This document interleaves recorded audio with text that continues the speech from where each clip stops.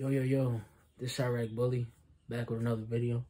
This video I want to speak on, um, there was a shooting at, um, in one of Drake's mansions. I don't know if you guys heard, um, I don't know if you guys seen, but it's on the internet, and, uh, it's starting to make, um, it's starting to make, like, headlines, you know?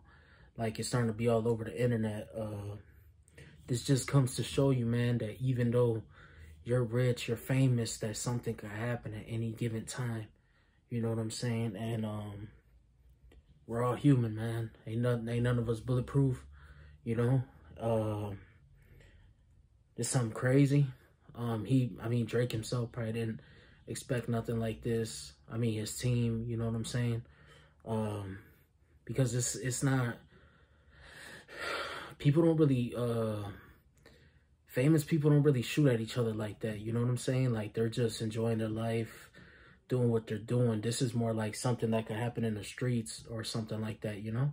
Just saying. Um, but yeah, man, this Chiraq Bully. Uh, let me know what you guys think of the video.